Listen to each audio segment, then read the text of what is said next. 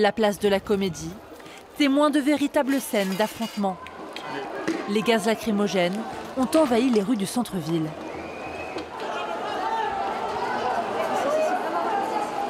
Je suis rue de la Loge, l'une des rues les plus commerçantes de la ville de Montpellier, également le parcours des Gilets jaunes. Regardez juste à côté de moi, certains manifestants ont cassé ces pavés afin de les lancer sur les forces de l'ordre.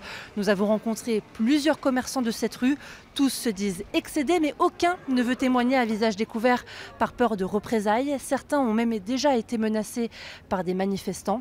Nous avons rencontré une commerçante un peu plus en bas de la rue de la Loge. Je vous propose de l'écouter. Je suis très en colère. J'ai l'impression qu'on est des, des, oubliés.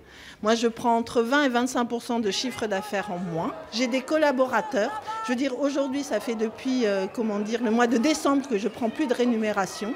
Voilà. Et pour pouvoir euh, faire face, euh, comment dire, euh, à mes échéances, à mes salaires.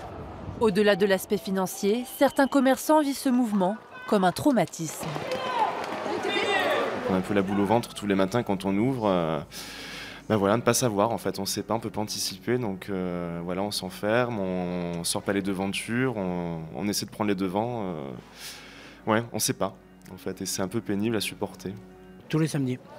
Dès le matin, je suis là, je suis euh, garde à vous devant la boutique en attendant que messieurs passent et le déchaînement qui se passe toutes les après-midi. Quoi. On le sait, et hein, puis on est obligé de fermer parce que c'est des catastrophes.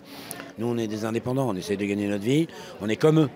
On se lève le matin, on vient travailler, on vient pas. Voilà. J'aimerais bien qu'ils arrêtent un peu. Pour ce 30e samedi de mobilisation, environ 450 CRS ont été mobilisés et nous avons constaté la présence de deux lanceurs d'eau.